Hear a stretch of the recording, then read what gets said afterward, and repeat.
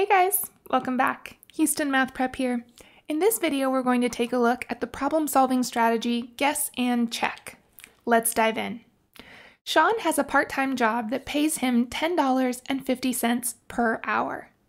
One week, he works 25 hours and he is paid $277.50. He realizes when he sees his check that he must have earned a raise. How much per hour is that raise? All right, so let's dive in. First step, let's make sure we understand the question. So we know that Sean earns $277.50 for 25 hours of work. He earns $10.50 plus that raise amount per hour. To devise a plan, we could guess a reasonable raise amount see if we hit the mark of $277.50 or if we're too high or too low and adjust from there. So here's the method of guess and check. Let's start with a guess of $1. Let's say he got a $1 per hour raise.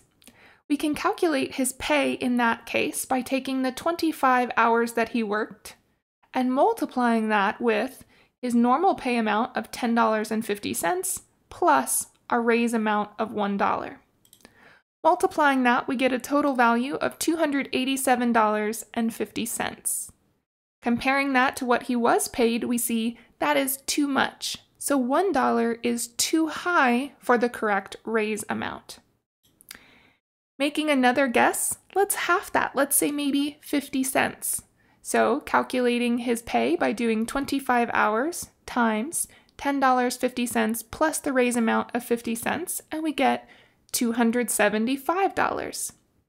Comparing that to $277.50, we see that's not enough. So his raise amount we know is something between $1 and 50 cents, somewhere in between those. So if we make another guess, let's try halfway in between them, 75 cents. This gives us an amount of $281.25. So while we're closer, that's still too much. Okay, so let's make another guess. Let's try 60 cents. So we'll go in increments of 10 from 50, see where we get.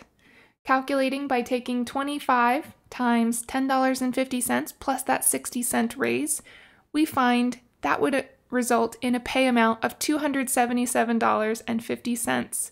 So we've hit it, we've gotten just right, which tells us that the raise amount was 60 cents. So we can conclude by saying Sean earned a raise amount of 60 cents per hour. Looking back, did we answer the question? Yes, we were able to find the raise amount per hour. And do we think that guess and check was appropriate? Sure. Are there other methods that could have worked for this problem?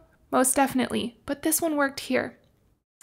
Alright guys, that does it for this video on problem solving with guess and check. Until next time, we'll catch you in a future video.